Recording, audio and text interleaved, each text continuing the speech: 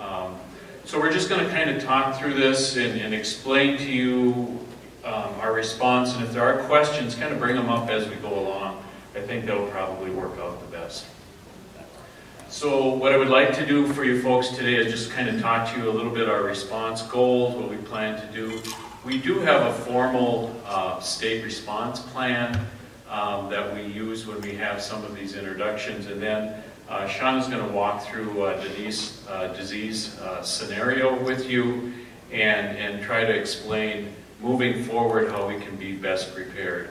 And a lot of things uh, I would have to say, and the reason for our talk and the reason for uh, talking to you folks this morning is that we did have a H5 event in 2018 that kind of drifted over into 2019 that we needed to respond to. And so some of the growers and some of the producers were concerned um, why things went the way they did. And so I really don't want to focus on the dirty laundry of the past. I want to go to the future and make sure that we can make things uh, better for all of us. So I, I have to always start my talk with this slide. And, and part of the reason is long before I got to the board and long before NPIP became part of this whole avian influenza process, uh, Dr. Peter Poss and Dr. Dave Halvorson uh, at the University of Minnesota put together an avian influenza cooperative control program. And, and really, I think when I look at it and I look at these four uh, bullets, I really don't think that things have changed a whole lot. You might change the terminology, you might change, um, you know, uh, how you look at it, but really, um, as they were trying to respond with an industry-driven program. There was no government involved. There was no regulatory agencies involved. This was basically, you know what? We have this virus floating around and it's causing mortality. It's causing some disease issues. So what do we need to do as far as the industry and as far as the University of Minnesota? And I think one of the things that Steve Olson always talks about is the Board of Animal Health. How can those three kind of come together? And I think if you look at this, it's the whole educational component, uh, the University of Minnesota helping out with explaining influenza, how it moves around, uh, the disease it causes, how you do surveillance, all of that kind of educational component. It talks about the industry reporting, and Shauna is going to talk about how we've moved um, unfortunately, I can still remember um, when we used the post office and mail. Remember? Anybody remember the mail? Before that was before email, okay? So we send out disease alerts via mail. And so yes, they did get there two and three and four days late, but eventually they got there. Um, but it's that whole reporting and letting your neighbors know and letting the people who are impacted know about what's going on. Biosecurity, Abby just had a great talk about uh, the biosecurity principles with the NPIP and how that's kind of moving forward and how that impacts uh, how we uh, respond to disease. And then this responsible response that Dr. Poss coined. And um, again, this is not a 2015 response in every case. And so I think as we walk through the scenario and as we actually are looking at revising our plan, um, I think this is a great opportunity to, for you folks to, to uh, kind of see what's going on. I have to grab some water quickly because this is a high pressure, pressure situation. but I think that um, part of the reason that we um, we had some difficulties in 2018 are these three documents that you see on the screen. So in 20, uh, 2004, 15 years ago, we put together a Minnesota plan. And it was called our State Response Plan. And that has gone through a number of revisions. And basically, for you folks, what you need to know is that uh, the board pulls together university and industry people, and we put together a plan and put it on paper. Just like a biosecurity plan, Abby. You gotta put it on paper so that everybody is on the same page with the response. If we do not have one put together and if we do not have one approved, the USDA will not provide any funding for any of our response. So in other words, the state has no coffers for indemnity, the state has no coffers for compensation. We rely on the federal government to help us with this response. And every state is in the same boat, okay? So we need to have a state response plan that's approved, that people buy into, that people will agree to. And we've revised this thing multiple times over the past 15 years.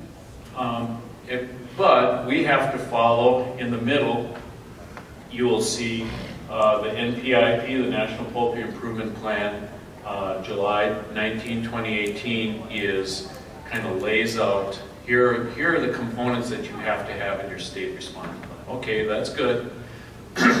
but after 2015, USDA put on some additional stipulations. And so in the upper left, you'll see that Dr. Jack Shere, who is the national uh, USDA veterinarian, put together a document last year in 2018 saying that, okay, NPIP is good, you got your state response plan, that's all good, but here are some additional guidance documents so that we get all of the states more kind of on the same page with their response plans. So, um, because we did have an event in 2018 and because we were a little behind in our revision of our state response plan, we were a little bit behind the eight ball with this.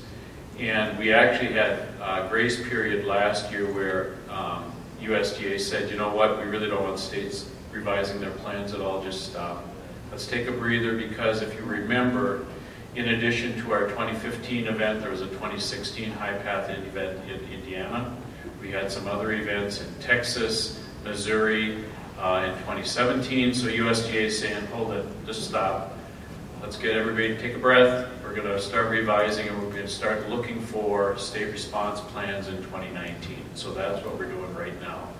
Unfortunately, we got caught in between here with our 2018 event. But um, my goal, um, Dr. Voss, along with our Emergency Disease Management Committee and the industry, we'll, are working on trying to combine all three of these documents. Okay, so as a grower, what do you need to know? Um, you'll see this box up on the left, uh, up on the right of you, and you'll see that uh, there are different zones or different colored circles or areas, if you will. And so as part of our response, as part of what we do when we uh, have an introduction of influenza is we need to kind of follow our plan as I mentioned. And so this is our initial response. This is what the state, along with the industry, is going to be doing. Um, and we're going to do it right now. I mean, this is like immediately, we have to implement this and move very quickly. So the second bullet that you'll see up there is this EDMC, Emergency Disease Management Committee. And this is a group of individuals. We actually have about 50 people on our committee. Um, uh, representatives from the industry, from the university, from, from the board, from other state agencies who come together and everybody kind of adds their own piece to the plan. Um, I want the growers in this room to realize that this plan has to work for broilers, for layer companies, for upland game bird producers, and actually if we have any type of influenza in a poultry flock, we have to use this plan. And so we have to consider all of those different components when we put together a plan, and that's why we've got such a large committee um, to help us out with um, putting the plan together. When we have an introduction, we quarantine these suspect flocks. We immediately put together these different surveillance zones that we'll go to, into a little bit more detail. But I think in 2018 and as we move forward, we need to really carefully define the board's role, what we have to do, a USDA's role, as well as the industry role, because they might be all just a little bit different. But I think ultimately, we want to make sure that we get rid of influenza. Um, with our biosecurity, we, we contain it, and we have some other things that we'll talk about with biosecurity. But really, uh, and I get it, Okay, I've been around long enough that I realize that if you don't have turkeys on your farm, you don't have birds on your farm, you're not making any money. So my ultimate goal with our plan is to make sure that the premises are managed properly and that we get uh, these places repopulated as quickly as possible. It's really, really important for us.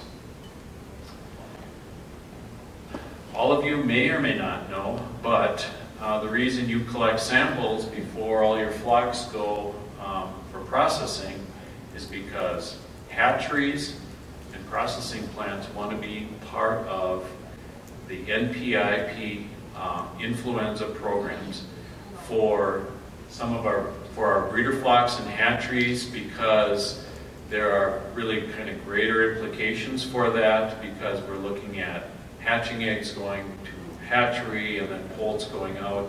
Uh, we need to make sure that we've got probably a little higher standards for our influenza testing programs, and so we have, as it's termed within the NPIP, clean programs where we don't find anything. We do not find any influenzas specifically for the H5 and H7 subtypes, realizing that for our breeder flocks in Minnesota, as well as other states, there's a lot of vaccination of breeder flocks for swine influenza, which would be type H1 and H3. So those really do not fall under this program. Our, we really concentrate on the five and sevens. So for our breeder flocks and hatcheries in Minnesota, we have plenty of them. We want to make sure that they're um, involved here. But for, for most of the growers and the slaughter plants, we want to make sure that we have a monitored program because we do realize that uh, occasionally we will find some of these flocks and they are simply a monitored, which means they are being tested. And so Typically, the blood samples that you folks collect, we will be testing for antibodies, and we have a couple of different tests, all of which um, happen at the MPTL in Willmar. We also um, are able to do all of the antigen or the PCR testing at our laboratory in Willmar as well. So all of this happens within our, um, within our Board of Animal Health programs. The testing is being done at the MPTL in Willmar. Um, Dr. Voss and the, and the crew at, at the MPTL make sure that all of the, the testing is being conducted properly, on time, adequate samples, and all of this information is fed to the national lab in Conyers, Georgia, to make sure that, um, if I've heard it once, I've heard it a number of times, it's all about trade. It's all about business, and that's why, and that's why we're doing it. And of course, we have to make sure that, that, it's, that it's happening properly. And if you look on the bottom right, that is um, some of the samples that um, we set up. We probably set up about 50, 60,000 of these tests um, every year um, to do surveillance for avian influenza. And part of the reason that we have stuck with serology, and this is with the support of the industry, is oftentimes with our low-path influenza events, we do not see any clinical signs. And so uh, I probably should call growers more often and just say hello, as opposed to calling them up and saying you got positive test results. I mean, that probably would be a better thing. But because oftentimes when these samples or these positive results are received, um, we get reports of what's the best flock I ever had, or didn't notice anything or something like that. It's got to be a lab mistake, you know, something like that. So, um, but, but it's important for you to know that we've really got a pretty high level of um, surveillance for influenza in Minnesota, and we really need to have that happen. Um, just This is just kind of a testing schedule, just so that you folks all understand and so that all the growers know that um, for the plants here in Minnesota, as well as if you've got turkeys that are going outstate, if they're going to South Dakota or Iowa, all of those plants are requiring basically the same type of testing program. Sample size might be a little bit different, but according to our what we have to live by, it's oftentimes within 21 days of move, but I know a lot of the processors are trying to skinny that down a little bit more and make sure that we get a lot closer to our processing dates. Um, we have programs, and you can see here um, for, for layer chickens, for uh, upland game birds, so we've got different programs that happen for all the different commodities. And so, um, and so you should be aware of that, and that's really on the active, but we also have diagnostic or passive surveillance for those of you who were uh, here yesterday. Dr. Saad talked about um, uh, the diagnostics that he's able to do at the MPTL and with our renovation in 2016, we have recruited in Minnesota an excellent um, diagnostician. Dr. Saad is great. And I will say that every time I'm going to get in front of a group, um, and I think that my colleague at the MPTL would agree that Saad is, has been a tremendous addition to the MPTL. And so that uh, when we do have some of these passive or sick bird calls, um, he steps right in and, and, is able to communicate that to us as, as the board. And so that's, that's really been a big, big help for.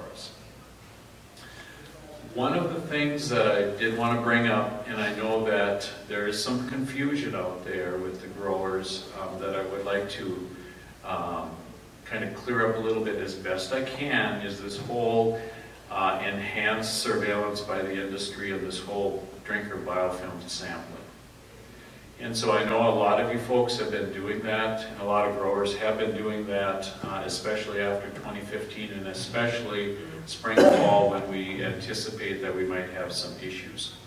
Uh, this started out and continues as a research project at McRock with Dr. Car Carol Cardona and her crew, and really has uh, been very helpful as far as giving a heads up to some of these influenza introductions.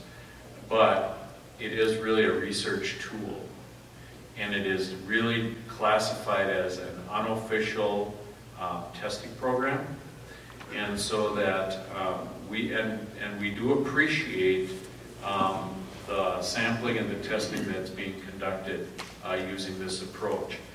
And we continue to work with Dr. Cardona's lab and the veterinarians to uh, collect additional samples after they get these positive test results. But for us to officially move as a response by the board or to request USDA funding, we really need to have either blood or trach swabs, and hopefully both, um, before we can move forward with the response. So, um, and I know that in some cases there's a combination of these testing and sample collection going on at the same time. But I just want folks to understand that this is not an official test for us as far as the Board of Animal Health. But um, I see that continuing as we move forward uh, with our influenza in Minnesota. So are we good there? Okay? All right, I'm going to hand it off to Shauna now, and she's going to kind of start to walk through a disease scenario for you. So, okay.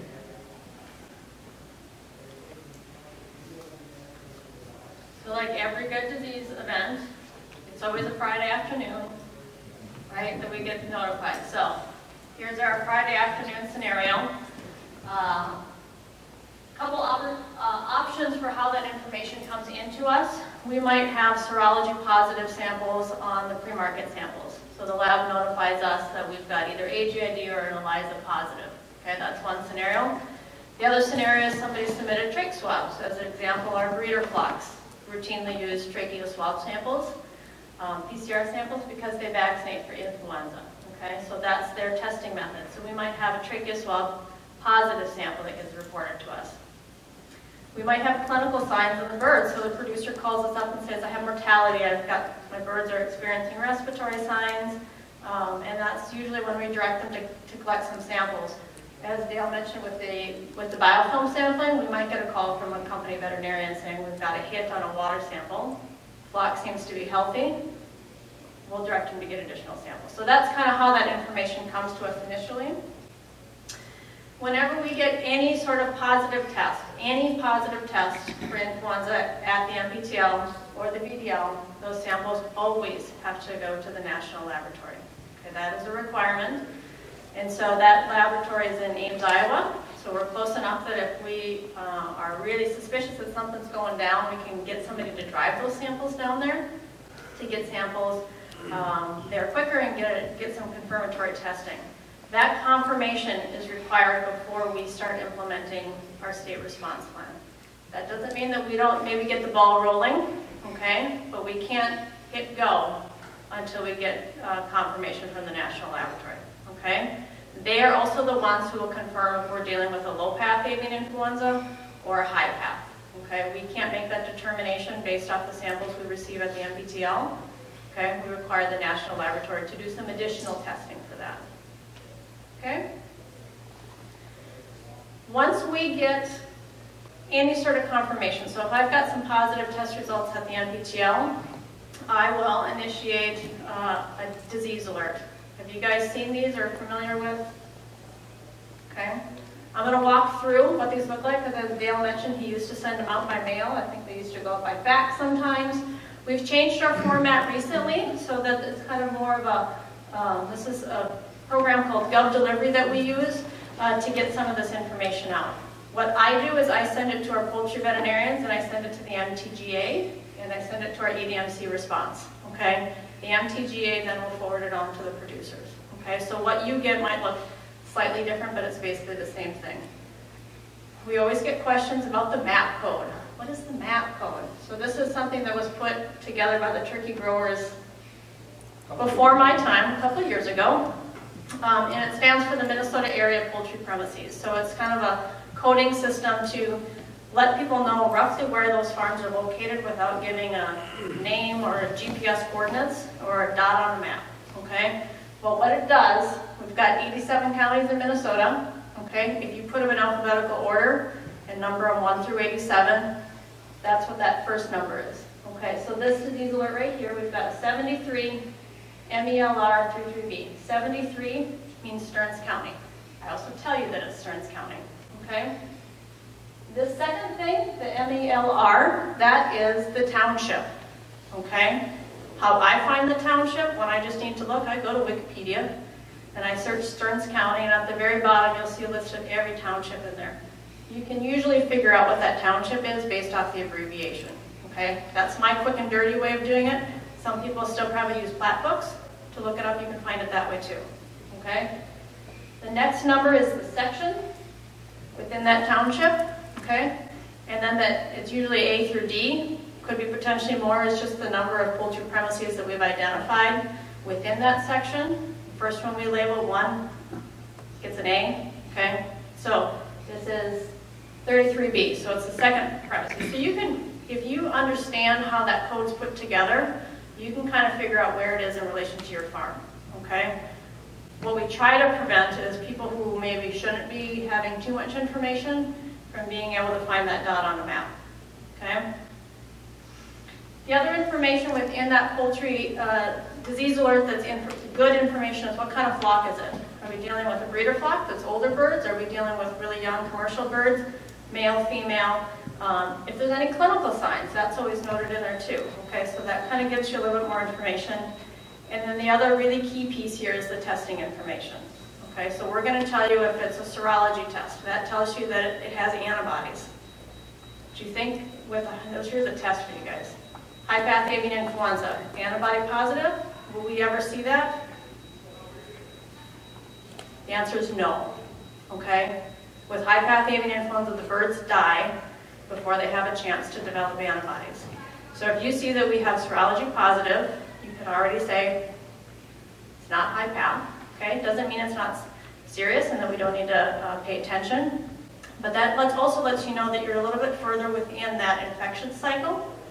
Okay? You're not at the very beginning, you're probably closer to the end because the bird's already developed antibodies. Okay? PCR positive results, that's going to let you know that there's still virus circulating. Okay? And I don't expect you to remember all of this now because it's all written down here on the bottom. Okay? So if you look down at the very bottom, this information does not ever change. There's testing information down here, and it, and it explains to you what does a serology positive result mean? What does a PCR positive result mean? Okay? So reference that, and that will help you in, interpret what that means as far as disease circulation in that flock.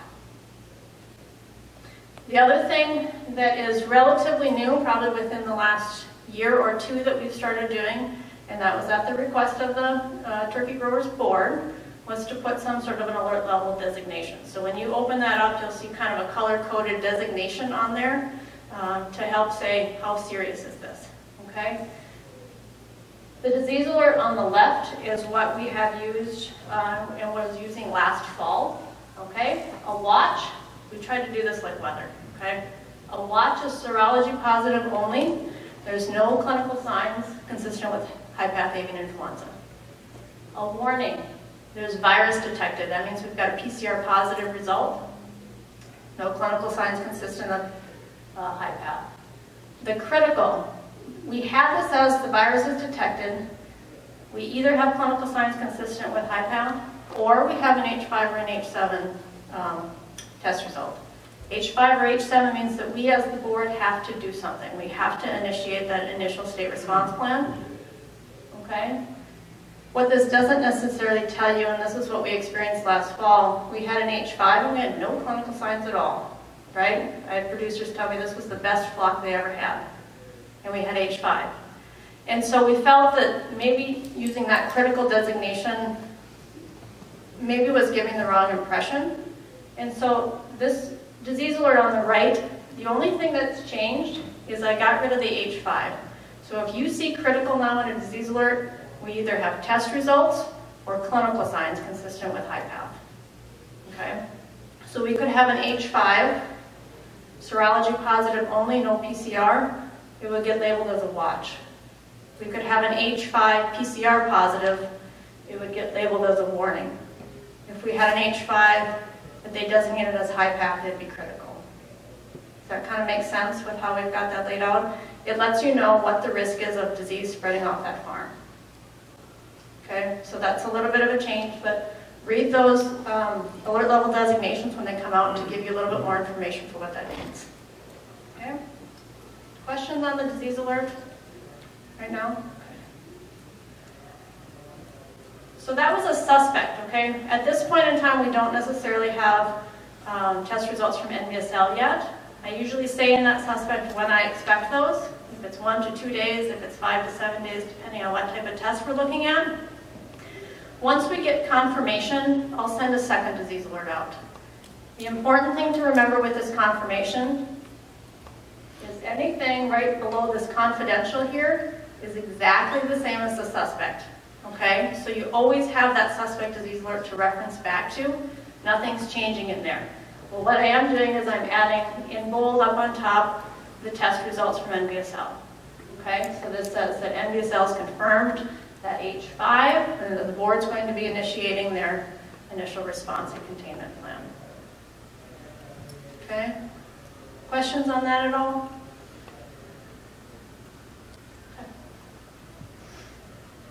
Okay, so once we've got a positive farm, we've got an affected premises, so that's either serology positive or PCR positive with an H5 or an H7. If you, this is you and you're the producer, what does that mean? Okay, the first thing that we're going to do is we are going to quarantine the, the, the premises, all the birds on the ground, so we expect that you're going to obey the conditions of the, of the quarantine. Okay. You will be assigned a case manager, so that's like that one person from the board or USDA, kind of your, our representative, who's going to be on the farm working with you to um, all the way through that process, so that that doesn't change. That was something we learned in High Path. Those case managers rotated out every three to four weeks, and it got really hard for the producers to maintain consistency. So now when we assign a case manager, they will stay with you through the end. What they're going to do is they're going to work with you to implement a containment level biosecurity plan. Okay, so this is above and beyond what you normally do day to day because you have virus on site and we want to keep it on site. Okay, we don't want to have it spread off site to another farm. We're going to uh, complete an epidemiological questionnaire to find out if you have any contacts with other people, either a neighbor, uh, shared farm workers, shared equipment, um, servicemen that have come and gone from there to know if there's anybody else that's been at risk, okay, of getting it. And then one of the most important things is to complete a flock plan, okay? This is the, um, the management that's going to happen on that farm to kind of eradicate um, and eliminate the, the virus from the plan. So this will very specifically lay out the virus elimination activities, um, repop, restocking guidelines. Okay, so that flock plan gets signed by the state, it gets signed by USDA, it kind of lays out what's expected for um, clearing that virus off the farm. You'll likely be asked to conduct some additional testing. Okay, if we have PCR positive only samples at this point, we've not done any serology testing, we'll probably ask for that. We want to know where you're at within that disease cycle. Okay. okay? You'll probably have to monitor your flock weekly, okay? We want to know when that virus is gone. If at all possible, and everybody's on board with it, we'd like to try to control market these birds, okay? I don't think anybody wants to waste valuable protein and put birds in the ground if we don't have to. Um, And that's something that's, not every state agrees with, but that's what we in Minnesota try to do if, if everyone is in agreement that that's the right approach, okay? So we want to know where that, uh, when that virus is gone, because then we can start making plans to move the flock to market, okay? We work very closely with the Minnesota Department of Health because certain types of influenza have been known to go to people. So if we've got uh, farm workers and owners and people on the farm that have been in close contact with the birds, they want to reach out to you guys and make sure that everyone's okay and not showing signs of illness. So you'll probably be contacted by the Department of Health and figure out who all has been in contact with the bird. Um, effective and this is where we want to, certainly within that first 24, 72 hours, designate our uh, priority and our attention. Based on that epidemiologic questionnaire that we've done on the affected farms, we might identify that there's other premises that have birds or susceptible um, animals on it that may have been exposed directly or indirectly um, to animals, products, equipment from that affected farm. Okay, so we're going to want to do some follow-up testing. Those uh, EpiLink prems will be quarantined, and uh, we'll ask them to do some elevated biosecurity as a precaution, and we'll collect samples from them weekly for 21 days, just to make sure that there's no infection there. If we don't identify anything, that quarantine gets lifted, you're free to go. Okay, so that's an EpiLink prem. One of the other things that we do whenever we get an infected crown is we like to draw circles around things, right? These are our surveillance zones to know who's close by that may have been exposed, okay? We use a 10 kilometer zone, so that's kind of a six mile uh, circle. That's this blue line right here, okay? So this is from our event this fall, okay? That red dot in the middle is the affected crown. All of the yellow dots our commercial turkey operations. Okay, we label backyard flocks, um, broilers, layers. We identify everybody that's in that area.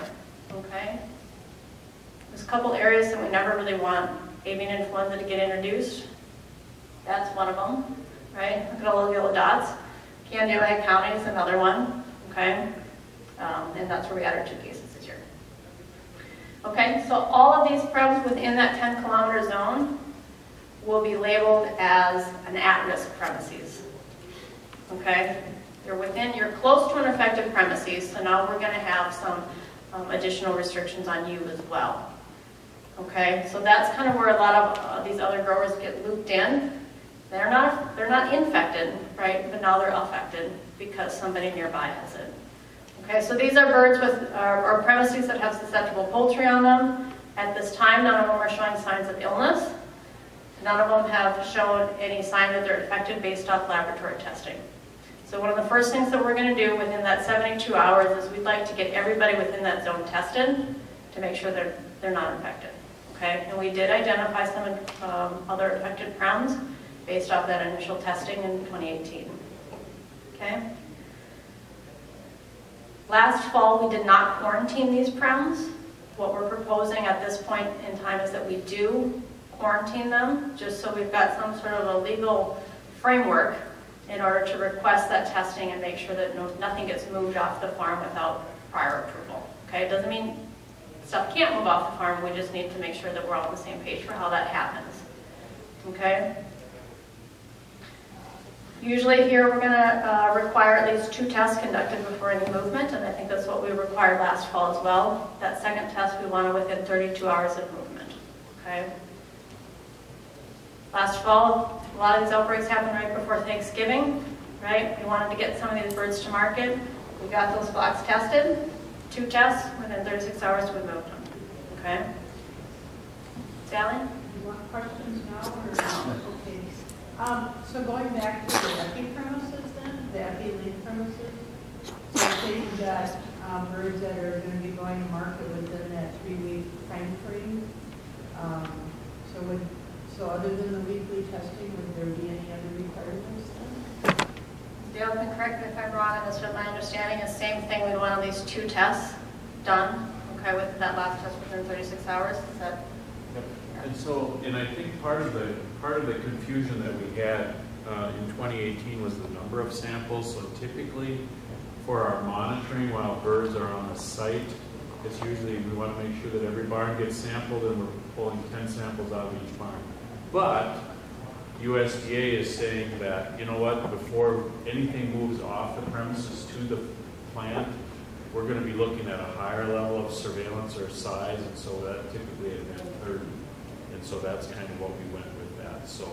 um, But, but certainly if there's um, situations where they got to move, and I think that's actually part of our control strategy to, uh, and I- that again would be another industry initiative, is to depopulate some, selectively depopulate some of those areas. I mean, just getting turkeys, if they're negative and they're close to processing schedule, it might not be perfect, but let's get them out of there before they become infected. So, Pete? Is that 30 samples per barn? Yes, you know, yes, it is, Pete. The question is, is it 30 samples per barn? And you know, um, you know, uh, and I don't know if you're here early, but um, we have a lot of hoops to jump through. And so um, there's actually an additional document that I'm a regulator, but kind of don't like it sometimes because there are more regulations that keep coming down the pipe. But one of the new documents that they wanted to have put together before flocks were control marketed was this appendix D. You don't have to know the name of it. But specifically on that, it said, yes, you will collect uh, 30 samples from each barn, and that's the way it's going to be, because they did some research at NVSL, and the scientists there said that's the sample size we need. So, and they're paying, and and actually, when we talked about uh, the USDA coming on board to help us out with this, in addition to the indemnity and the compensation, they're paying for all of the testing. So it's a matter of, um, you know, can we get the producers to collect the samples? So, sorry. That, that includes the labor to collect the samples then? Well, I know, I know, I know, I know, but, yeah, it, it, it's a, it, you know what, it's a, it's kind of a cost share kind of a deal, so. At least it's PCR samples and not blood samples. Does that make you feel better? Or much? Yeah. One of the things that I think we, we didn't do so well in 2018 that we're trying to do better is we're developing a, um, a handout to give to each one of these different types of premises that very specifically lays out what the expected testing is, okay? So if you're infected premises, you would get an affected premises um, worksheet essentially that lays out, this is what testing is expected of you moving forward, okay? This is your elevated biosecurity that we want you to implement. And that way, you know what's coming from us as the board versus if you've got a company initiative that maybe wants to collect some additional samples, which I think is great, but it's confusing, right? Because then you don't know where things are coming from and who- who's requiring you to do what. You'll at least know what we're expecting of you. Right, I was gonna ask about that as to, that was one of the biggest frustrations for us, was different, you guys had something and then we had other information come our way, so this happens again. Are we gonna all be on the same page? Is there gonna be a little more uh, simple, or is that still kind of be company versus? So, so, um, one of the first slides was those three documents, and putting them all together, trying to get them to mesh. And so as we were moving forward with our plan, we said, you know what? I think that if we collect ten samples per site, and I don't care if there are four barns, we'll call that good. Well, suddenly, we get other information, and now we have to relay it from the East Coast to our incident command center in, at the MPTL, and so, so everybody should probably know that as part of our uh, I would consider it streamlined process. Everything happens out of the MPTL, all of the testing, all of the supply, all that jazz, everything comes. And so suddenly now we have to, we have to change, do it, not necessarily in the about face, but you gotta tweak it. So now we have to get it out to the case manager, the case manager has to get it to the producer. We have to make sure that the producer gets it to the person who's collecting the samples. And Then we have to make sure we have enough supplies. Now we don't have enough supplies, then it comes back, then we have the wrong submission form, then it goes back. Can you kind of see how this thing goes a little bit? So as Shauna said, we're gonna have one sheet. If you're an, if you're a contact, if you shared uh, your skid loader to move some stuff three days ago, you're an EpiLink premise. And you know what? We've defined you as this. Here's your worksheet. This is what it's going to be. This is what you got to do. If you are a contact, or if you are an at-risk, and you're three miles away, and we're not down, I don't, we might go to church together, but we don't do anything else, um, I'm an at-risk premise. Here's your worksheet. And we're still going to be working out, and we, and that's why, as part of our response plan, um, we need to drill down, okay, is it going to be 10 samples per bar? I mean, those are some of the things. Here's a submission form you need to use. Here's where you have to deliver them. Is it within 72 hours? Is it weekly? You know, all of those specifics, so it's less confusing for you. And I think the other thing is that it's less confusing for the case manager, because then everybody's going to be on the same sheet. And that's what we, and we're really, and um, I'll take full blame for all of the issues that we had because we were, we were caught a little flat-footed. Uh, What, what, uh, Dr. Bloss, you probably want to explain how, how this all started in 2018, but we were flat-footed people-wise when this whole event started as well. So, um, you know, there's always. I um, was here, I had it covered. I don't know where anybody else was, but I was here. You have it covered. I was in Kansas City at a national meeting, getting ready for a national poultry meeting, and, um, I prob, I'm on camera, I probably can't say this, so, um, but I was prepared to do some other Friday night activities, and suddenly, I got a six o'clock call, and that changed the next three months, so. Yeah, I mean, if I could just, um, inter- you know, we could just have one person, you know, and not, you know, a company person and then, you know, a caseworker, it just would make things so much easier. I would say that was kind of a big complaint that we had. And, and the other That we thing. just have one, one person, one sheet, one, and it's just, everyone's all the same thing. And, and, and I think for, for everybody in the audience, what you have to realize is that these case managers do not work with poultry all the time. So they are our district veterinarians, they might be our ag advisors, they're working on chronic wasting disease, they're working on a rabies case, and suddenly Dale calls them up and says, you know what, um, I need you to be a case manager, and you need to go up to Melrose, uh, this afternoon, so get going. And so I think, uh, we need to, so there are areas, and we recognize that, and, and, and really, uh, I want the industry to know that we are, we've been working hard, we've actually been working since January in this whole deal, so.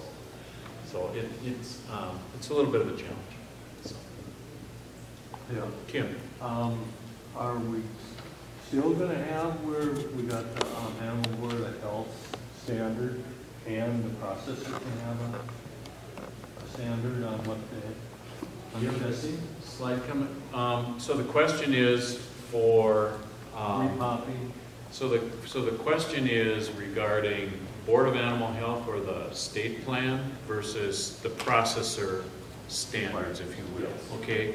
And so, um, that is entirely up to the processor and the, and the hatchery and, and other folks because this state plan, the state response plan that we've agreed upon, we got everybody on board with that, okay? And they've signed off on it and they said, you know what? This is what we can live with and actually, um, Shauna will be coming up to a slide where we talk about the whole virus elimination, the additional testing that's required um, right here, and that was all in the flock plan. And that satisfies our um, requirement. Now, the processor, the industry, and I know there were some issues with that. That's, um, kind of above and beyond. I would, I would say it's the same as uh, the biofilm testing. I mean, those are some industry initiatives that are really not in our plan. Um, They could be, but probably not. So. And I don't know if that answers your question, but I don't know if that makes you happy. Yeah, I'm, I'm just telling you. It answers the question, but it doesn't make them happy. I understand. I get that, I get that, I get that. Want me to keep going, or do you want me to No, use- no. So what we're also trying to do, um, you know, as you probably are all aware, Dale and I are working through our NPIP biosecurity audits. So we're expecting that everyone has their minimum biosecurity plan for everyday biosecurity in place. What we don't usually see within those plans is an elevated or that containment level biosecurity. So what are you going to do if somebody is, you know, three miles away from your affected farm, or your farm that's infected? What additional biosecurity do you want to implement? So what we've tried to do is create some guidelines. So if you're an at-risk prem and you're within that control zone, we're hoping that you'll implement some additional elevated biosecurity measures to try to make sure that you're protecting yourself. And so we're laying out some guidelines and we've worked with some of our industry partners um, to fine tune this as best as we can, but at least it gives you a starting point for what, okay, somebody's down the road that's infected, what do I need to do now to help make sure that I don't get infected? Okay, so we're laying out some of that.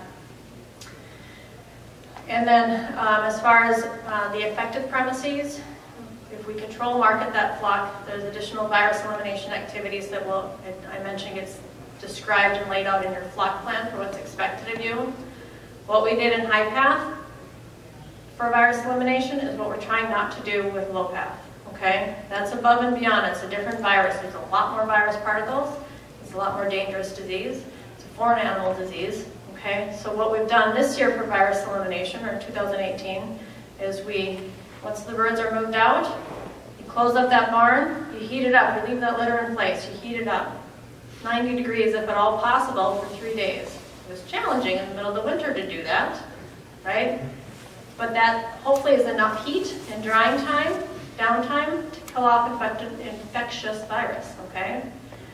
Once that's done, remove the litter, just do a dry clean. So we're not requiring that full wash down and full disinfection like we did in, in 2015 high path, okay? Once we get those barns cleaned out, your case manager will come in and take some environmental samples of the lab to prove to us, to you, to our trading partners that there's no more virus. Okay? We're looking for evidence of live virus. We might pick up dead, broken down pieces of virus. By the time we do all of that testing, we determined that it's not viable. We didn't find any live virus in 2018 or event. Um, Question on that environmental testing, I guess I didn't quite understand, it was a, there's like a setup period or, uh, that has to be done with some age or something before they can, so it seemed like we had a, it was tricky on making sure you timed it right to get the environmental samples. So, the, right, so what, what needs to happen with that environmental testing, we run it through a PCR test, so it's just like a trach swab, right? But if we get any positives on that, then it has to go into a live egg and we need to try to isolate the virus. We need to try to grow it, okay? That is challenging. The VDL does virus isolation and they do it not infrequently, but the amount of samples that we have, we would do 10, 10, 15, 10 samples per barn for the environmental samples. If you had four barns on site, that's 40 samples. Say 10, 15% of those had to go into eggs. Making sure that the VDL had eggs that were the right age, ready to go was a, was a nightmare. Right? You guys probably all went through it. It was a nightmare to try to schedule it. We have scrapped that. All those samples will go to NVSL because they always have the, they always have plenty of eggs available and can do it. So moving forward, we're not going to have that challenge. But it wasn't, it was a, it pushed things back much further than it should have. Jake, we fixed that. Yeah, sounds like it. We, we fixed it, and that was a call, and that was a call with our USDA colleagues down there to say, you know what, this just ain't working. Our produce, this is not, this is not working. And So I think those are, um, those are relationships that you develop over time, and so that call saved you folks lots of time, because now we can collect, it doesn't matter. And We get a PCR, they go down to NVSL, they can start them right away, doesn't matter if it's Saturday, Sunday, holidays, they're moving on, so. And that's something that they've pushed across the US too, Right. so if California flock gets it, they're So again, we gonna get ask to to be, do the same. again, we get to be the leader in something good, okay? It's usually the second mouse to trap against the cheese.